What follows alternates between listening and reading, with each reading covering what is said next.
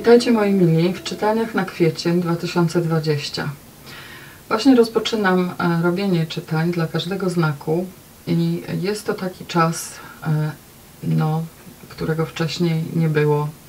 Jest to trudny, trudny czas, a jednocześnie mm, przedziwny i zapewne każdy z nas ma wiele pytań co do tego, jak to będzie w przyszłości. Oczywiście tarot jest narzędziem, które, którego używa się do tego, żeby mm, przewidzieć przyszłość, ale myślę, że bardziej chodzi tutaj o wskazanie mm, mocnych stron, o podniesienie nas na duchu. O, w tych czytaniach gene, ge- generalnych, czyli ogólnych, chodzi o to, żebyśmy zobaczyli, co możemy zrobić, żeby sobie pomóc, albo co możemy mm, odkryć w sobie w czasie tego trudniejszego momentu w naszym życiu. Myślę, że każdy znak będzie miał albo y, inną talię, albo inną wyrocznię. Zobaczę, e, będę intuicyjnie dobierać i zobaczymy, co z tego wyjdzie. E, Jednocześnie chcę Wam podziękować za to, że jesteście na kanale, że słuchacie, e, że dajecie też dla, dla mnie wsparcie, ponieważ e, no, ja też jak e, każdy człowiek potrzebuję e, czasami wsparcia i dobrego słowa, więc wspierajmy się nawzajem, dajmy sobie e, nasze talenty, wykorzystajmy je do, do tego, żebyśmy przeszli przez ten trudniejszy okres w naszym życiu e, w miarę łagodnie i spokojnie. Myślę, że e, teraz już przejdziemy do, do czytań. Zapraszam Was i zobaczymy, co z tego wszystkiego wyjdzie. Witam wszystkie wagi w czytaniu na kwiecień 2020. Zobaczmy, jaka jest tutaj główna energia dla Was. Mamy wielkie arkana, bo czas jest taki właśnie na wielkie arkana, żeby zobaczyć, co tutaj Wam Tarot podpowiada na kwiecień, na czym się skupić, na co zwrócić uwagę. Właśnie. Poprosimy jedną kartę dla wag na kwiecień. Pamiętajcie, że czytanie jest ogólne. No i mamy głupca, wasz żywioł, mamy kartę, która jest połączona z powietrzem i to jest litera hebrajska Alef, e, czyli pierwsza litera matka, powietrze. No jest tu nowy początek, e, to znaczy mamy punkt zero. I mamy tutaj dużo duchowości, bo wychodzimy z Keter, czyli z tej nieświadomości do Hokma. Hokma to jest mądrość. Czyli jesteśmy na tej ścieżce do, do tej mądrości. To jest następne doświadczenie, które nas w tej chwili otacza. Mamy możliwość nauczyć się czegoś y, i możemy zrobić krok do przodu. Możemy y, pomyśleć o przyszłości, o rozpoczęciu nowego rozdziału naszego życia, bo podejrzewam, że dla wielu z nas będzie to nowy rozdział życia. E, I tutaj pokazany jest e, taki człowiek, który orze pole i to taką metodą bardzo starą, bardzo średniowieczną, z wołem jeszcze. I to jest właśnie przygotowanie się do zrobienia pierwszego kroku. To jest taki moment, w którym e, będziecie patrzeć pewnie na to, jakie są możliwości, to jest trochę taka energia mm, niefrasobliwości i, i zrobienia tego kroku tak czy inaczej, tak? Bez zastanowienia. Dobra, idę. To jest teraz nowy czas, trzeba po prostu zrobić ten krok, odważyć się. Więc zebranie się na odwagę, zaoranie pola i zasianie czegoś y, na tym polu, żeby to mogło rosnąć. I nawet y, w- przenośni czy dosłownie można tak zrobić. Można na przykład sobie w ogrodzie posiać y, roślinki, czy w doniczkach y, jakieś zioła, czy inne rzeczy. Y, Więc tak czy inaczej jest to taka karta pokazująca taką rzeczywistość, która właściwie zbliża się, bo nie wiemy, zrobimy ten pierwszy krok i dalej zobaczymy. To tak jest. I wyruszymy w nową drogę. Możemy oczywiście zebrać i zabrać ze sobą nasze doświadczenia z przeszłości. Możemy też tutaj połączyć się e, z naszą boskością, e, czyli ze źródłem, po to, żebyśmy wiedzieli, czy ten krok, jeśli go robimy, to prowadzić nas będzie do zakończenia, czyli w momencie, w którym robimy pierwszy krok, to tak jakbyśmy już e, mieli na myśli ostatnie, tak jakbyśmy mieli na myśli metę, tak? Bo kiedy ktoś biegnie i wyrusza w, na przykład w jakiś wyścig, czy w jakąś drogę, to zwykle idzie i ma cel, więc warto by było sobie też pomyśleć o tym, dokąd ja idę, dlaczego robię ten pierwszy krok, dokąd ja chcę iść, e, co jest właśnie na końcu tej drogi. No i tutaj to bardzo filozoficznie wyszło, no ale warto się zapytać, e, jaki krok, dlaczego, po co ten krok, dokąd mnie to zaprowadzi. Zobaczmy jeszcze 8 kart stali The Dark Mansion Tarot. Talia zrobiona przez Polaków. E, ja mówię na nią talia ciemnego dworu. Widzę, że niektóre osoby pytają o talię, więc dlatego mówię, co to za talia. Pewnie innych to nie, nie, nie bardzo e, interesuje, ale to jest dla tych, których to interesuje i którzy chcieliby wiedzieć. No dobrze, zobaczmy. Poprosimy o 8 kart.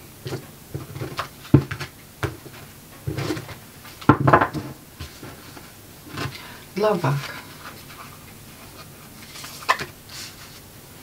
To, co odchodzi, to, co przychodzi,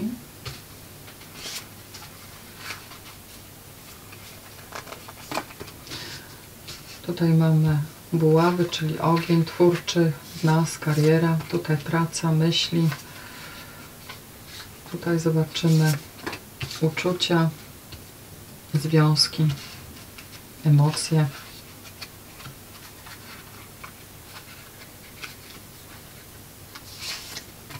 Praca, znaczy finanse, ciało fizyczne.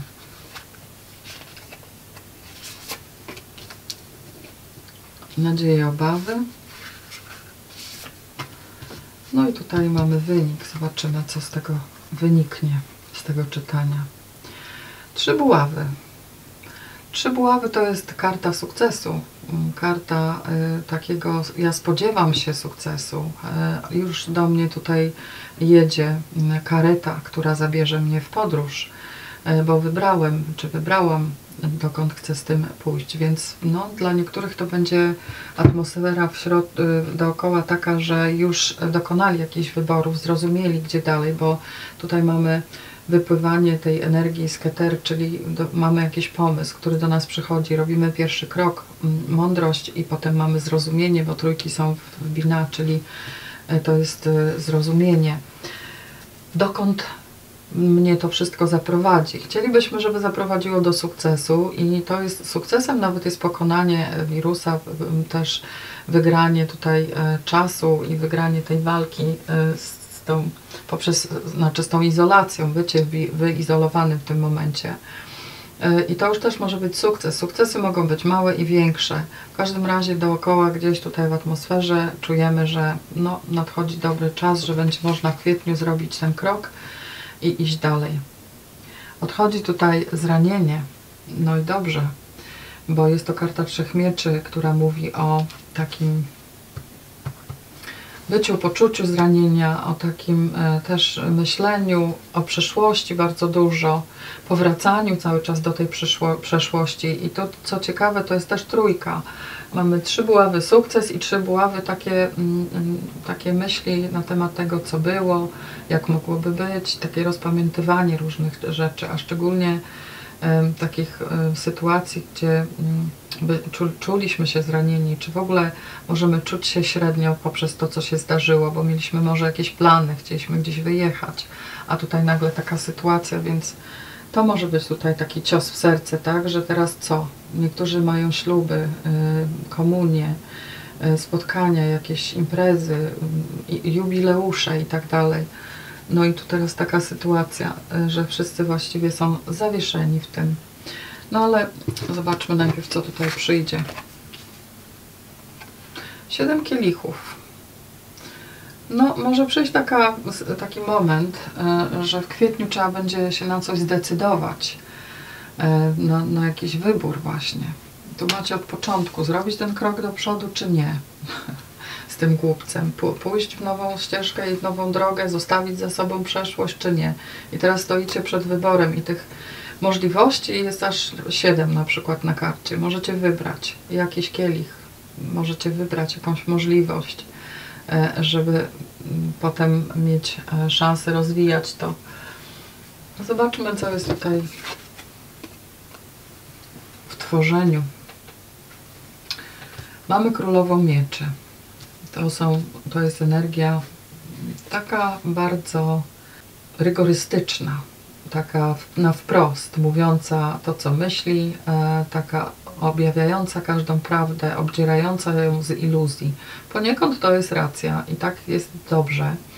I tutaj, e, jeśli popatrzymy pozycję, gdybyśmy przy, po, e, mieli zinterpretować tą pozycję, jest, jest to kariera no to trzeba nie ukrywać przed sobą różnych rzeczy i zobaczyć, jak, jak wyglądam w mojej karierze, gdzie jestem i powiedzieć sobie o tym. Może to być też tak, że Wy będziecie doradcą, czy jesteście doradcą, przynajmniej niektórzy z Was, bo tutaj to jest tak też Wasz, wasz żywioł, prawda?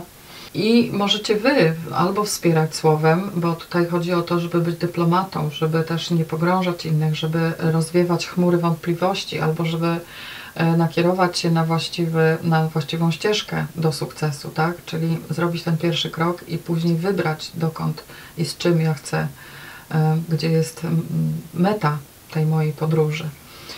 E, więc ta królowa tutaj jawi się w tej karierze, pewnie każdy inaczej ją będzie odbierał i odczuwał, w zależności od tego, co robicie, czy, czy gdzie jesteście. Może to też być ta, taki wasz talent, E, bo możecie być bardzo e, komunikatywni, bardzo e, możecie użyć swoich zdolności do pisania, do prowadzenia bloga, vloga i, i innych rzeczy, uruchomienia tej, tej swojej komunikacji. To jest też komunikacja tutaj przez tą królową mieczy. Ona mm, bardzo trafnie potrafi ocenić sytuację, potrafi też obnażyć sedno sprawy, wystąpić przed, przed grupę ludzi i, i wypowiedzieć swoje prośby, czy swoje jakieś wizje też przedstawić, tak? To jest taka wizjonerka, ja bym powiedziała, ta królowa. I ona jest właśnie na drzewie życia trójkach, czyli w zrozumieniu, w bina. Mamy bardzo wysoko tutaj Waszą energię, bo mamy dużo tutaj kart właśnie z tego wyższego z tej wyższej części drzewa życia. I tutaj dwójka nam się pokazała buław, czyli wybór. Wybór, jak będę myśleć. Na razie chyba jeszcze nie zdecydowaliście, czy w prawo, czy w lewo. I tu jest też łapanie równowagi w tym całym zamieszaniu, w tym, tej całej sytuacji, która jest z jednej strony wybór i znowu mamy dwójkę Hokma, to jest mądrość tego wyboru. Czy ja chcę wyruszyć? Jeśli tak, to chcę wyruszyć do sukcesu, bo tutaj mamy e, trójkę, tak? W, w całej atmosferze wokół tego czytania. Więc teraz tylko e, przede mną stoi zadanie, czy ja wybiorę drogę prawo czy w lewo. I znowu macie wybór, tak? Więc stoicie przed wyborem. Tutaj wagi będą stały przed takimi wy wyborami. Jaka praca będzie dla mnie najlepsza? W czym się będę mógł, mogła spełniać? Jakie to będą zadania? Y, co jest dla mnie odpowiednie, tak? tak? Takie tutaj odnoszę wrażenie. Ojejku, tu znowu macie dwójkę. Bardzo dwójkowo. W relacjach. Dwójka mieczy. No, to jest tak, że jestem na razie niedostępna, zamknięta czy zamknięty, bo nie wiem, co zrobić. To jest takie. To od początku macie kobietę, która jest y, na drodze, i to tak mam wrażenie, że y, tutaj jest dużo takiego stania na rozdrożu i, i teraz i wybór. Dokąd w moich relacjach? Czy ja siebie rozumiem też? E, co, jakie myślenie też wybieram. Czy takie ponure i jakieś scenariusze e, ciężkie, czy raczej pozytywność i razem z tym głupcem niefrasobliwie zrobię ten krok naprzód e, i coś będę robić. Na razie wydaje się, że wszystko zastygło, natomiast cała nasza aktywność jest w domach, jest w internecie, I to życie właściwie tętni dalej, tylko że jest przeniesione z ulic, z zewnętrza do wnętrza. I warto też do wnętrza skierować swoje pytania. Co ja chcę wybrać? Dlaczego? I obnażyć tutaj tą prawdę, bo ta królowa świetnie tutaj z tym mieczem pokazuje. trzeba sobie wyświetlić, trzeba sobie mm, oczyścić e, umysł z jakichś niepotrzebnych myśli i tutaj zdjąć sobie tą opaskę, żeby coś wybrać. Tu w relacja, relacja sam ze sobą. Może to być dla niektórych też e, inny, inny rodzaj, czy mam utrzymywać jakąś re, relację, czy nie. Każdy indywidualnie też będzie czuł, do czego dotyczy ten wybór i ten zastój tutaj w relacji. Może relacja nie będzie mogła się rozwijać, ponieważ jesteśmy izolowani, więc no co, co tu wybrać? Jak nie ma właściwie możliwości się spotkać, czy dotknąć, czy, czy poczuć, tylko tu myśli są. Jest dużo ognia i, i widzę i, i dużo mieczy jest. Jak zwykle uwagi, dlatego wybrałam e, akurat tą talię.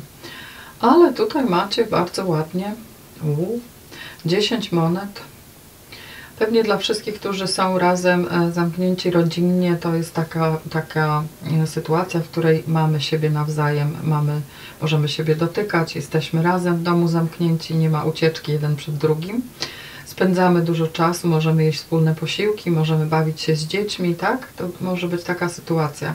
10 mieczy to jest też wsparcie rodziny, to jest też dawanie wsparcia innym, którzy są być może w, gorszej sytuacji, bo to jest taka bardzo pozytywna karta. To jest bycie wspartym i wspieranym przez swoją rodzinę i też jednocześnie dawanie wsparcia y, poprzez to, że jesteśmy, czujemy się dosyć bezpiecznie y, innym.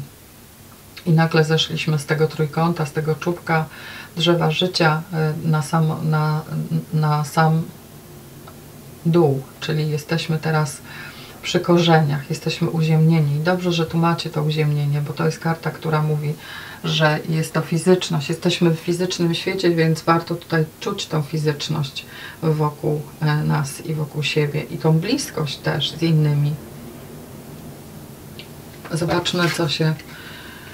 Uuu, też miecz pokazuje jako obawy i nadzieję. Myślę, że raczej to będzie nadzieja na jasność umysłu, na jakiś pomysł na siebie, czy na to, dokąd y, teraz iść, w jaką drogę się wybrać, bo tutaj y, mamy głupca, który ma zero, a tutaj mamy jedynkę. Z tej jedności teraz potem trzeba zrobić krok i tutaj w którą stronę, gdzie, dokąd. Dokąd ja chcę iść? To jest od początku to pytanie. Macie taki dobry czas na przemyślenia. Jeśli jesteście w domach, e, to zamiast może coś robić, to warto coś przemyśleć albo też popisać sobie różne pytania i odpowiedzi na te pytania, bo tutaj może to być jasność umysłu dla Was, może to być moment taki, aha, to dlatego, albo to mogę zrobić, albo co mam wybrać, tak? Ja jeszcze dociągnę kartę na tą siódemkę, zobaczymy dlaczego. No i paść tutaj jest. Paść mieczy. No, paść mieczy to jest e, do, docie, docieranie do sedna sprawy też, poszukiwanie, uczenie się, czytanie książek, badania, zbieranie różnych danych, ale to też jest rodzaj takiej e, energii bardzo, bardzo młodej, bardzo świeżej. To jest taka świeża energia, trochę podobna, e, powiedziałabym, do do tej energii tego głupca, bo to jest dzie dziecięca energia, tak? To tak mi się kojarzą te karty z, z dzie dziecięcą energią. To jest też radość e, z tego, że jestem, że jestem zdrowy, zdrowa. To zobaczcie, tu mamy samo powietrze. As, głupiec i tutaj jest paść mieczy. Paść mieczy jest e, w Malkut, czyli też e, na tym padole ziemskim, czyli tutaj, gdzie jesteśmy. To jest manifestująca się energia mówiąca o tym, że trzeba mm, odpowiedzieć sobie na różne pytania, a jeśli nie znacie tych odpowiedzi, to trzeba poszukać, przeczytać, dociec, nauczyć się. Być może jest to coś nowego, co będziecie robić e, teraz w przyszłości. Jak patrzę, to tutaj mamy taki też trójkąt bardzo, e, właśnie bardzo mieczowy. Tutaj macie tą mądrość i jest to, to wewnętrzna mądrość i tutaj trzeba się jeszcze nauczyć wybrać i mądrze wybrać. Patrząc na okoliczności też zewnętrzne, bo królowa jest wysoko, ona siedzi tam e, na tronie.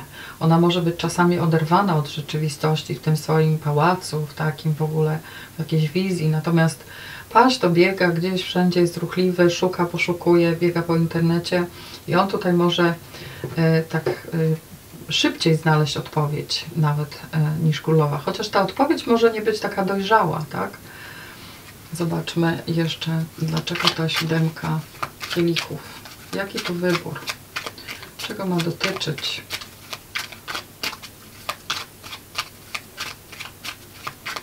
Poprosimy jedną kartę na 7 kielichów.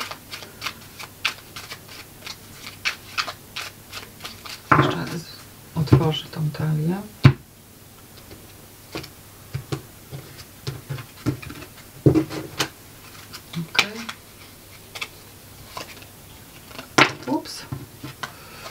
Bo najpierw zanim wybierzecie, trzeba się uspokoić i to pozwoli Wam, ten wybór pozwoli Wam też na przepłynięcie w takie miejsce, takie, takie uspokojenie tego umysłu. Może to być jakaś podróż, ale podróż albo internetowa, albo fizyczna podróż w kwietniu. Nie wiem, dla niektórych być może tak, dla innych może to nie być fizyczna podróż, to może być podróż w głąb siebie, podróż wirtualna.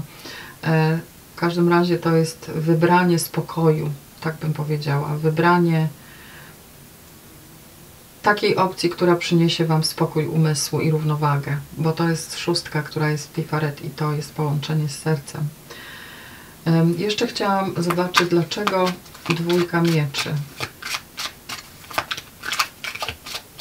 Dlaczego tutaj mamy dwójkę mieczy w relacjach?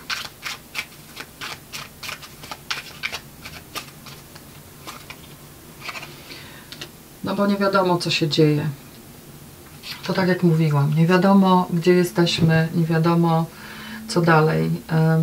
I tutaj tak widać już na tej karcie ten księżyc. Jeszcze do tego mamy tutaj wytłumaczenie, że jest to iluzja umysłu, iluzja ciemności, że nie widzimy, ale może trzeba będzie poczekać i tutaj mm, poczekać z podjęciem jakiejkolwiek decyzji na temat jakichkolwiek związków e, mm, do przyszłości, może do maja czy dalej czy w ogóle mm, powstrzymanie się po, od podejmowania tej decyzji, może wyruszenia w tą drogę?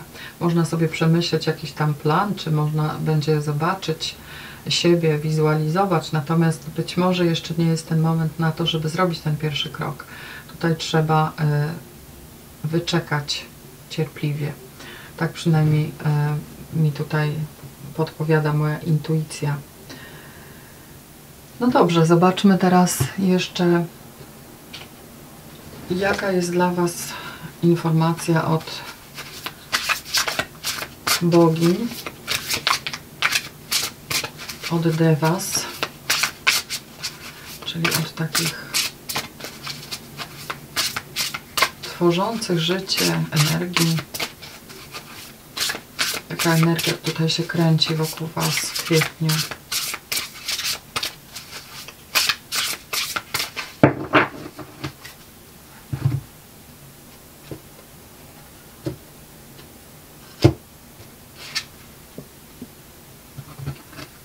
Oj, bardzo taka niewidoczna.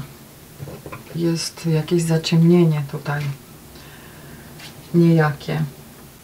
Jest to przedostatnia karta w talii e, Devas of Creation i to jest Quantum. Czyli to jest taka kwantowa rzeczywistość. Taka rzeczywistość, która znika i jej nie widać ale to też jest komunikacja. Komunikacja, y, której też nie widać, bo y, nie widać słów. Dopiero kiedy piszemy te słowa, to wtedy one są jakby namacalne. Natomiast słowo mówione to jest dźwięk, który y, przekazuje dużo energii. Może to być energia wsparcia, może to być energia inna. Dlatego trzeba uważać na to, co się mówi. Tu jest też mowa o takim zerowym punkcie materii, gdzie jest kwantowa re, e, realność, e, tak, zwana, tak zwane miejsce Boga. Więc wszyscy ci, którzy znają się na, na fizyce kwantowej, mogą coś więcej powiedzieć, to ta karta jest bardzo połączona właśnie z, ze światem komórek, ze światem komórkowej inteligencji, łączenia się i komunikacji pomiędzy żywymi organizmami.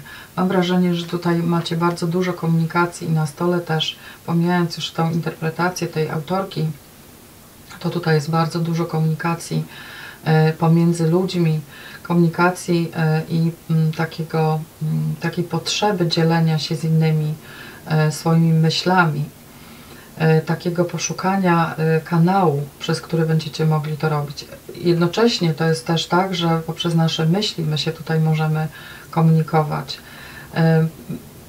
I wybierać spokój, tak? Wybierać spokój, wybierać podróż w głąb siebie, która daje wyciszenie, daje taką energię relaksu, dla, szczególnie dla umysłu, bo Wy tutaj macie tak dużo mieczy.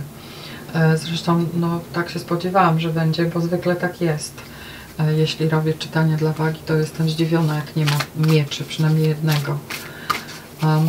Zobaczmy jeszcze jaki przewodnik tutaj do Was e, trafia na kwiecień.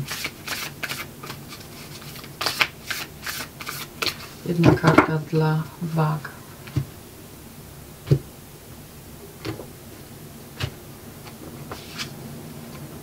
No orzeł, który widzi z wyższej perspektywy, czyli to jest tak jak ten głupiec tutaj, bo może on chce wyjść z tej, z tej nicości e, w dół, i też może widzieć z wysoka, bo zwykle robi krok w przepaść, tak? Więc e, karta głupca jest tutaj dosyć mocno powiązana, mam wrażenie, ale też wszystkie te miecze.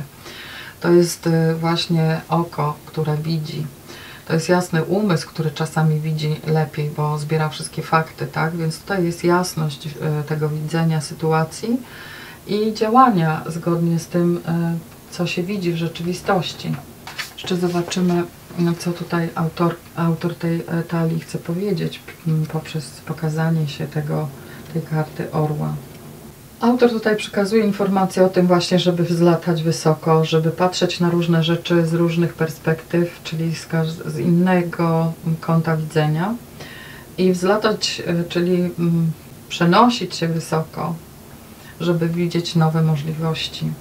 Tutaj też jest jeszcze przesłanie, że właśnie ten orzeł robi takie koła, zatacza wokół i dodaje odwagi, żeby, żebyśmy zobaczyli, żebyście Wy zobaczyli e, swoje wizje, swoje poglądy, które mogą być bardzo limitowane w obecnym czasie, tak? Bo tutaj jak patrzymy na kartę dwóch mieczy, to ona nic nie widzi, ta osoba. Ona jest po prostu e, zatrzaśnięta na świat zewnętrzny. Nie będzie mogła zobaczyć nic, skoro ma opaskę na oczach. Bo tutaj może być szansa na jakąś desperację albo ego, które blokuje właściwie potencjał tej sytuacji, w której jesteśmy.